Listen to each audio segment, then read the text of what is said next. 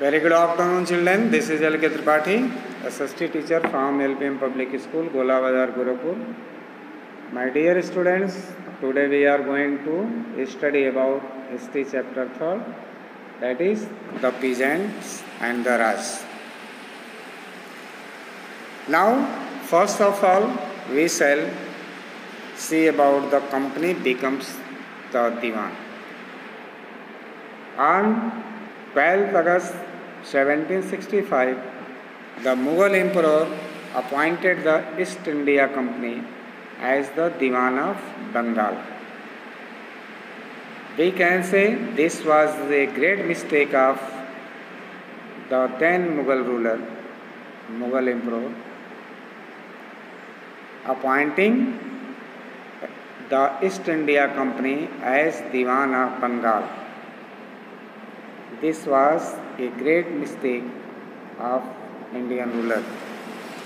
The actual event most probably took place in Robert Clive's tent with a few Englishmen and Indians as witnesses. But in the painting above, the event is shown as a majestic occasion taking place in a grand setting. The painter was commissioned by Clive to record the memorable events in Clive's life. The grant of Diwani clearly was one such event in British imagination. Why I told you this was a great mistake of the Mughal Emperor of India to appoint the East India Company as Diwan. Robert Clive, who was undoubtedly a clever officer, Governor General of India, who encashed this event and this opportunity in very profitable and positive way.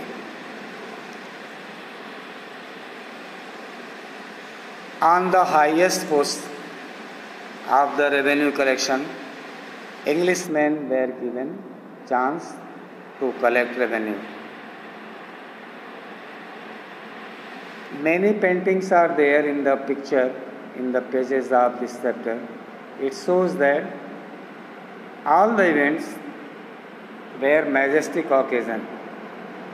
It means the picture is glorifying the Robert Clive and his company. The grant of Diwani clearly was one such event in British imagination. जो दीवानी का grant इनको मिला ये निश्चित रूप से जो British ने इमेजिन किया था, जो उनकी इमेजिनेशन थी, भारत पर शासन करने की, मज़बूत पकड़ बनाने की, वो यहाँ पूरी होती है। As Diwan the company became the chief financial administrator of the territory under its control Now it had to think of administering the land and organizing its revenue resources. This had to be done in a way that could yield enough revenue to meet the growing expenses of the company. Just having this chance, I mean to say, became demand of the territory they started to administer the regions, also started to organize the land and collecting revenue.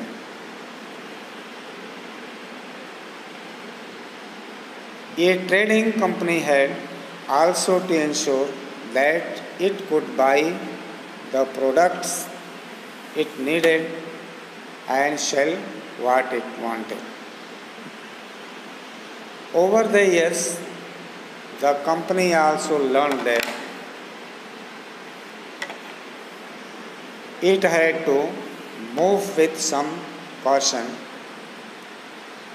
Being an alien power, it needed to pacify those who in the past had ruled the countryside and enjoyed authority and prestige. Those who had held local power had to be controlled, but they could not be entirely eliminated. Now, the British East India Company started holding the power according to their own appointment of officers, appointment of the authorities of the state. They did themselves. Those who had held local power had to be controlled, but they could not be entirely eliminated. eliminated. जो लोग वहाँ पर local power held करते थे उनको भी रखा गया उनको पूरी तरह से बाहर नहीं किया गया उनकी टीम में जो एडमिनिस्ट्रेशन की टीम थी। How was this to be done in this chapter we will see how the company came to colonise the countryside organise revenue resources redefine the rights of people and produce the crops it wanted Now, revenue for the company. The company had become the diwan, but it still saw itself primarily as a trader. It wanted a large revenue income, but was unwilling to set up any regular system of assessment and collection. The effort was to increase the revenue as much as it could and buy the cotton and silk cloths as cheaply as possible. Within five years, the value of good bought by the company in Bengal doubled.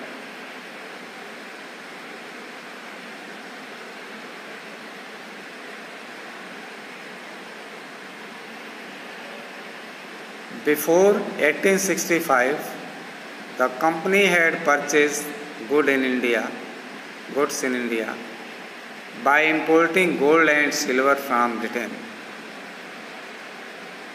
Now the revenue collected in Bengal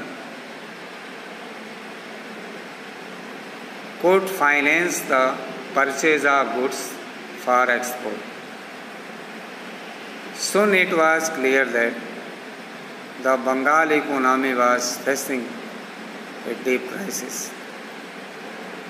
Artisans were deserting villages since they were being forced to sell their goods to the company at low prices. Peasants were unable to pay the dues that were being demanded from them.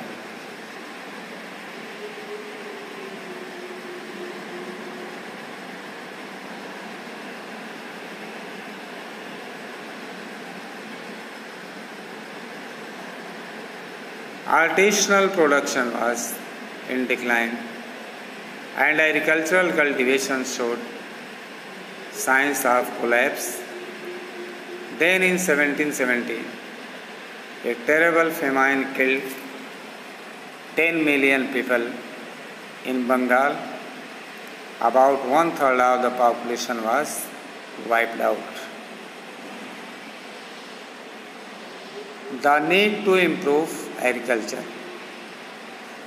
If the economy was in ruins, could the company be certain of its revenue income? Most company officials began to feel that investment in land had to be encouraged and agriculture had to be improved. How was this to be done? After two decades of debate on the question, the company finally introduced the permanent settlement in 1793. By the terms of the settlement, the Rajas and Talukdars were recognized as Jamidars. They were asked to collect rent from the peasants and pay revenue to the company. The amount to be paid was fixed permanently. That is, it was not to be increased ever in future. It was felt that this should ensure a regular flow of revenue into the company's coffers and at the same time encourage the jamidars to invest in improving the land. Since the revenue demand of the state would not be increased, the jamidar would benefit from increased production from the land. The problem the permanent settlement, however, created problems. Company officials soon discovered that the Jamidars were in fact not investing in the improvement of land. The revenue that had been fixed was so high that the Jamidars found it difficult to pay. Anyone who failed to pay the revenue lost his zamidari. Numerous zamidaris were sold off at auctions organized by the company. By the first decade of the 19th century, the situation changed. The prices in the market rose and cultivation slowly expanded. This meant an increase in the income of the zamindars, but no gain for the company since it could not increase a revenue demand that had been fixed permanently. Even then, the zamidars did not have an interest in improving the land. Some had lost their lands in the earlier years of the settlement. Others now saw the possibility of earning without the trouble and risk of investment. As long as the zamindars could give, up, give out the land to tenants and get rent, they were not interested in improving the land.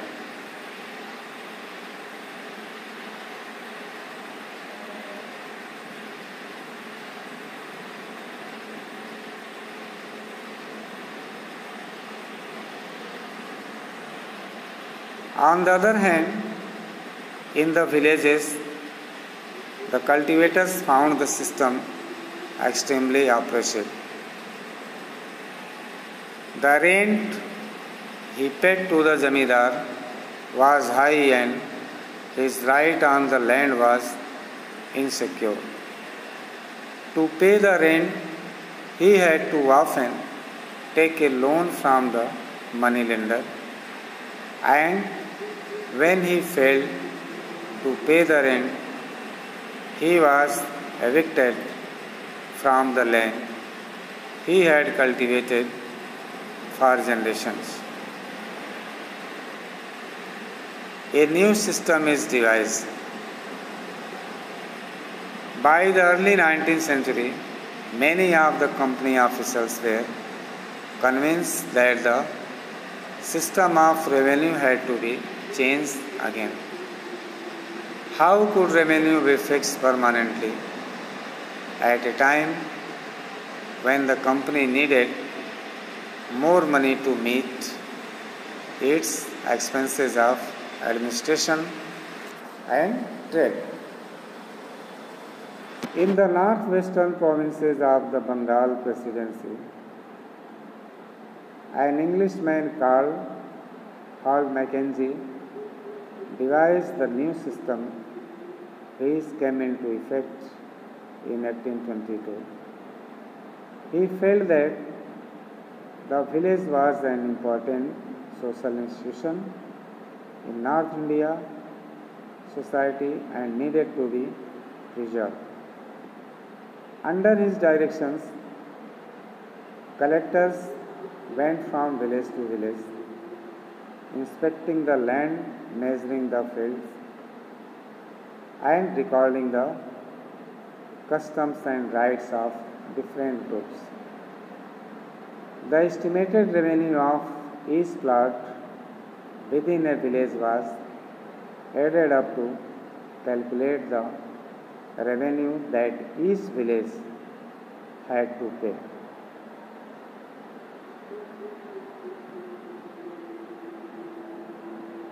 This demand was to be revised periodically, not permanently fixed. The charge of collecting the revenue and paying it to the company was given to the village headman rather than the jamidar. This system came to be known as the Mahalwari settlement.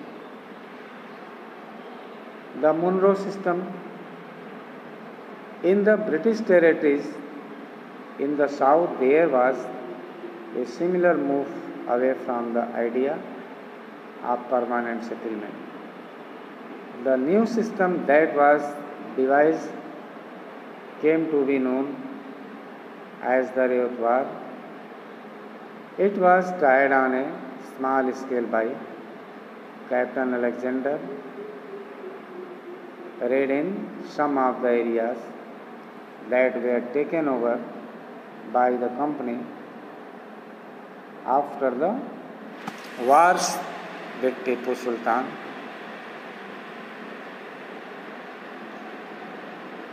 Subsequently, developed by Thomas Munro, this system was gradually extended all over South India. Reid and Munro felt that in the south there were no traditional zamindars. The settlement, they argued, had to be met directly with the cultivators who had tilled the land for generations. In this way, we have studied up to here. Rest we shall discuss in the next video. Till then, thank you and goodbye.